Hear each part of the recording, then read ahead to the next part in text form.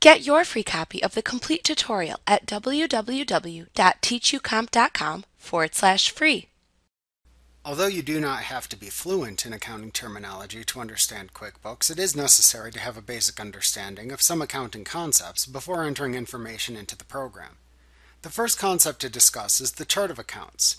A chart of accounts is a listing of all the accounts used within your company file. You can open the chart of accounts by selecting Lists, Chart of Accounts from the menu bar. Your chart of accounts shows the names of the accounts used by your company, the account type, like income, bank, or one of the many other QuickBooks account types, and the current balance of the account. There is also a column called Attach, which shows any attached documents associated with the account. You can double-click this column to open a dialog box that lets you attach documents from your computer, from a scanner, or from the Doc Center for free. These attached files are stored locally on your computer in QuickBooks. You will now examine the general account types found within the chart of accounts and how they are organized. The chart of accounts has a default sorting method. Assets appear at the top, followed by liabilities, then equity. These accounts are also shown in the balance sheet report for your company. Following those accounts within the chart of accounts window are the income accounts, followed by the expense accounts. These accounts appear within the profit and loss report. At the very bottom of the chart of accounts window are accounts for non-posting transactions, like purchase orders and estimates. As mentioned before, at the top of the chart of accounts window, you will see the balance sheet accounts which appear on the balance sheet for your company file. These accounts show what you own, your assets, what you owe, your liabilities, and the difference, or equity. Below those accounts, you will find the income and expense accounts, which track where money comes from and what it is spent on, respectively. Each balance sheet account has a register associated with it. Unlike the balance sheet accounts, the income and expense accounts each have a report that lists the transactions associated with the account. We will look at these types of accounts in more detail in later chapters, but let's now review a general list of the different types of accounts shown within the Chart of Accounts window and whether they appear in the balance sheet or the profit and loss statement within QuickBooks. So as mentioned earlier, first you have your balance sheet accounts. The first account shown are assets.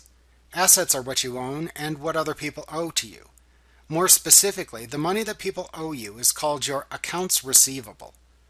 Other assets may include checking account money, inventory, fixed assets like computers, and undeposited funds from customers. Also note that when you set up your company file in QuickBooks, although checking, savings, and petty cash are all company assets, you'll set them up as bank type accounts in QuickBooks.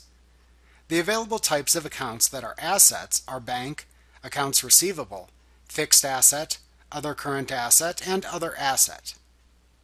Next come the liabilities. Liabilities are what you owe to others. The unpaid bills that you have are specifically referred to as your accounts payable.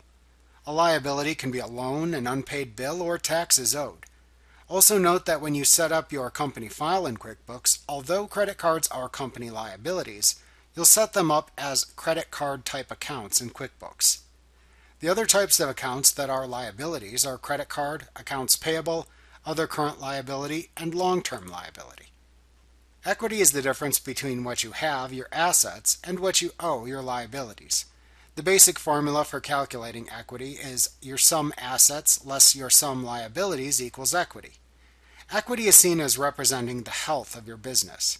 Equity can come from three different sources investor money, current year profits, or retained earnings, which are profits from past years that haven't been distributed to shareholders.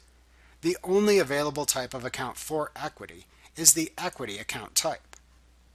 Next, we'll look at the profit and loss statement accounts, also called the income statement accounts. First, you'll see your income accounts. Your income accounts are used to track the income generated by your company. Next, you'll see expense accounts. Expense accounts are used to track where your company's money was spent. Like what you see? Pick up your free copy of the complete tutorial at www.teachucomp.com forward slash free.